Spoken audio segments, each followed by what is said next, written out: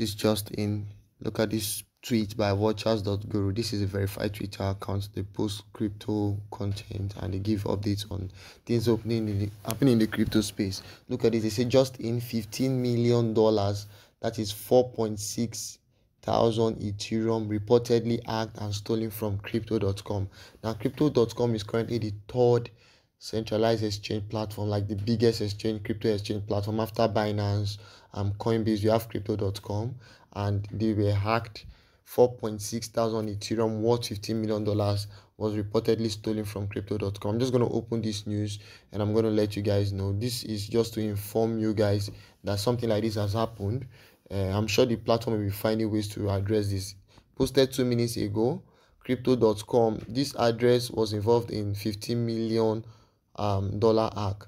Look at this. They said the crypto space has been prone to hacks since its inception, mostly because of the underlying technology is quite novel.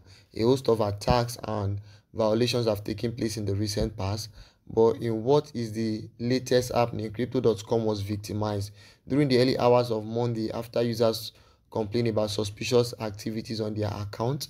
The crypto exchange platform made an announcement, an official announcement, which said which they said with the said development, Crypto.com is now the first major centralized exchange to succumb to a hack this year. Crazy, crazy. Look at this. They said with the number of crypto crimes ever increasing, a host of notable exploits have happened last year, but the poly network hack remains to be the one of the most prominent ones. Apart from that, the event which has over 600 Coinbase customers got hacked also managed to gain the mainstream spotlight. Right now, to give more updates on this story, they said so soon after experiencing the issue with their accounts, users of the crypto.com exchange realized that they had been hacked. Most of them allegedly reported the missing cryptocurrencies from their balance right? However, from a few wallets, the hackers have made off with all the funds in the account. So the exchange took to Twitter to address the issue. So we have a small number of users reporting suspicion activity on their account.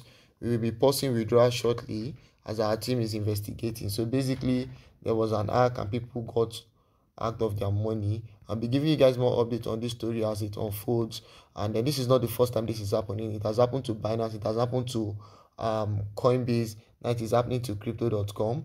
Don't, that being said, don't forget to hit the subscribe button, turn my bell post notification to get every crypto update. Bye for now, and I hope to see you in my next video.